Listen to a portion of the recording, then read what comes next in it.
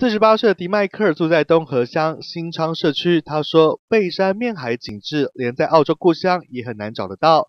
自己改造农地上的铁皮屋，加装落地窗，山海景致一览无遗。盖鸡舍、辟农田，不用采买的一个礼拜也衣食无余。”我就在台北的时候，我常常来这边玩。嗯嗯嗯，我不太喜欢那个台北的感觉，很挤。嗯。交通大都会。你在澳洲的时候也是住比较乡下。我在乡下长大。哦，南澳洲住哪里？呃，Brisbane。哪儿？布里斯南部。南部。最大我去墨尔本大学。哦。对，我我我在乡下长大。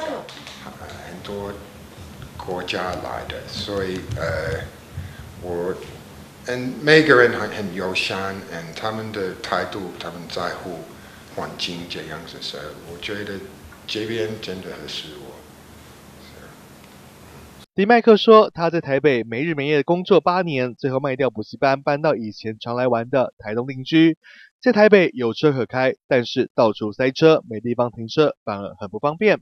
而到了台东便利商店门口停车，店员还会主动关心要买的东西，十分有人情味。